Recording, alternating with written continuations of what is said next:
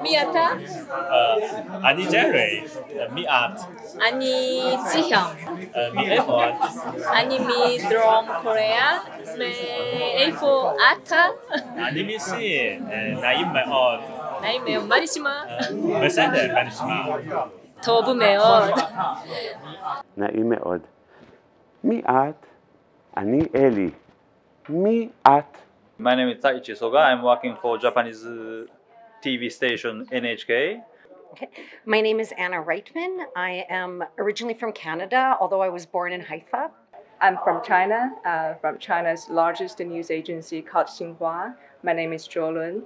So I have lived here for a little while, and my Hebrew is not getting that much better, and so I definitely need the practice. So this is a great opportunity. I also living in Jerusalem as a as a people as a human. So it's very important to start learn start to learn language. Okay. I'm pretty new here and I know nothing about Hebrew, but I'm really uh, eager to learn more about Hebrew culture, about Israeli um, culture, and that's why I'm here. And first of all, you know, uh, if you want to really communicate and get involved in the local community, in the local culture, you want to talk to the very ordinary people, you have to master the local language. The thing that most in, that most interests me in Hebrew is being able to communicate for the obvious things like buying stuff, um, but also being able to communicate with people in general. In the very first class, uh, we, we just learned some basic language like